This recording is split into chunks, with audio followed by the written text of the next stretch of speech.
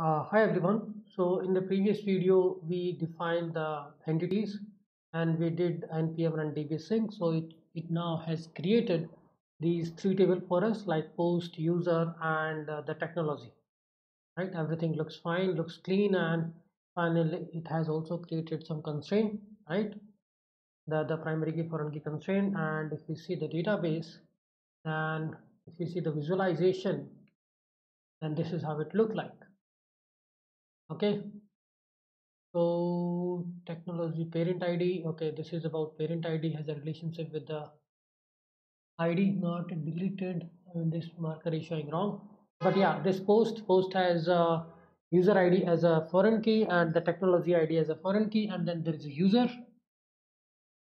So this arrow is something which is showing wrong but yeah everything looks correct. So in the technology we have uh, self relationship like parent id is pointing to the id of the technology only and this is our post.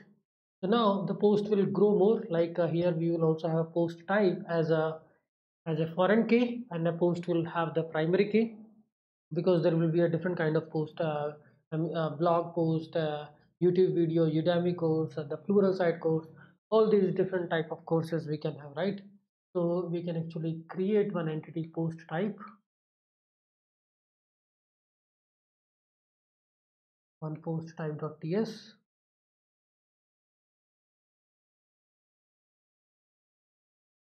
let's quickly finish this. So here post type and it will also have the same set of relationship like we have with user and a post. So user id was the foreign key. So we can just copy this user and we'll just paste it in the post type. So here we'll have a name and type. Id name and type that's it. And obviously there will be another column which is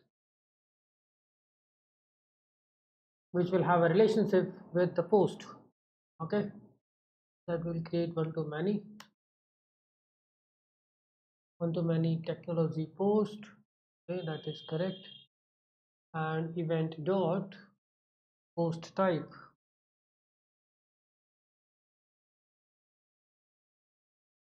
let's say post type and here the column will be post type will be user post? Post type.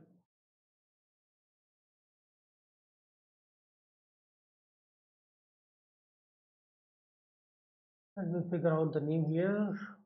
User post type? Something like that and post type we need to define here in the the post entity.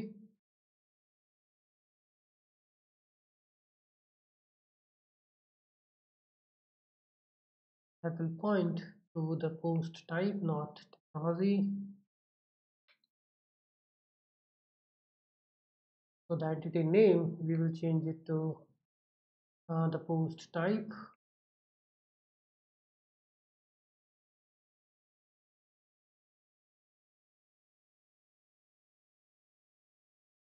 okay coming back to the post entity here uh, it will be post type and the column which we are pointing out is the user post type. So we are targeting user post type okay? So it's like another relationship we have created. Now coming back to our erd in erd we have covered these set of tables. Okay the technology post type bookmarks we will add later. Uh, we have added a user and we have added a post.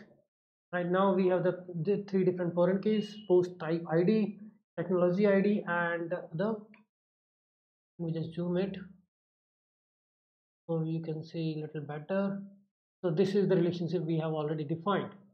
The post technology id uh, the owner id owner id is like user id we are calling that as user id it can be author id user id owner id whatever you call it. It's same right? Post type medium youtube uh, udemy Pluralsight course link or your own video tutorial link something like that right? That is post type. And uh, these are the different columns of post. Now the next thing we have is we can also run npm run build and npm run sync.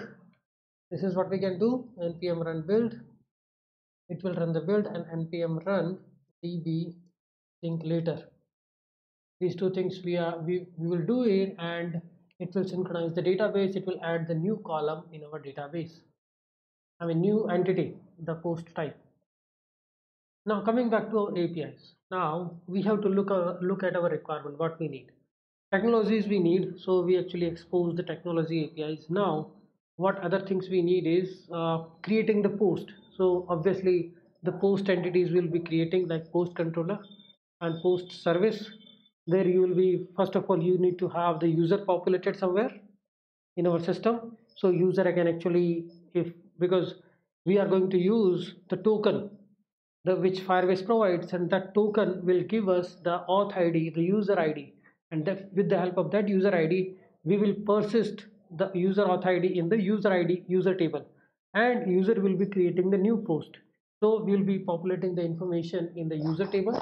Whenever user is creating the post where user is already logged in we'll decode the token get all this information and user will create the post. We already have a technology id because technology has been created. User has been created. So user id technology id and the and the post type. Post type we already have created the table. Okay? So i will stop here. This is the phase one of our development now in phase two we will add more repository services and the apis and then we'll go from there. Okay? Uh, thanks everyone